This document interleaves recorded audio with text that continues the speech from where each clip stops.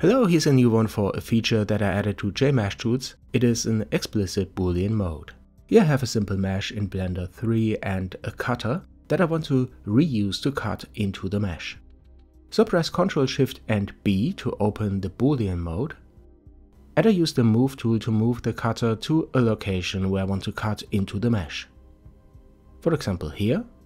And now I Ctrl left click onto the mesh to execute a difference boolean. The operation is set to difference, this is why we cut into the mesh, and the cutter object is not deleted. If you want it to be deleted, then you control and shift click onto the mesh. So this is very easy to control in this mode. Let me show this here with the operation type set to slice.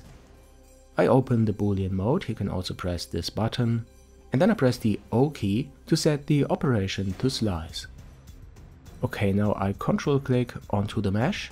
The cutter is still there and the slice is executed. Now I rotate this object by pressing the R key.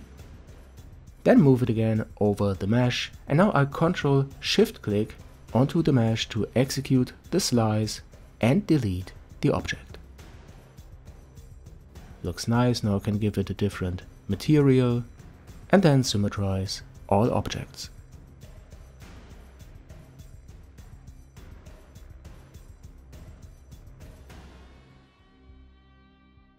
You see these are separate objects, so I can scale and move this one separately.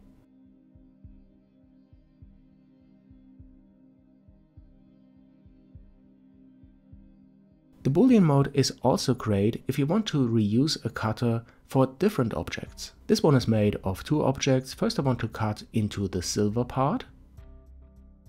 So go to boolean mode and control click onto this part. The boolean is executed, the cutter not removed, so can reuse it to cut into the other object. Therefore I move it upwards and rotate it, like that, then I move it to the location where I want to cut.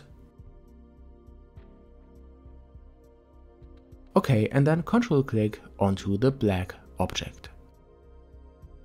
Then I cut another hole, somewhere like here, and you see this is perfectly reusable and after that I symmetrize again. I know it's a small feature but sometimes it's really comfortable to boolean like that. The add-on is still free, link is in the description, but you can also get it from the Blender Market. And if you get it from there, I can give you special support and you also support the Blender Dev Fund. You find the link in the description below.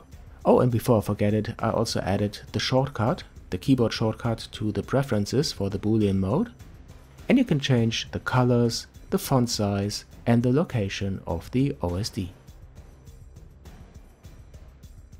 So guys, I hope you like the add-on and my channel. If you do, then please don't forget to subscribe if you haven't already. Also follow me on Instagram, Facebook and Twitter and support me by becoming a channel member. This would be great. If you have questions, add these to the comments and I'll see you in the next one here on Jayanam.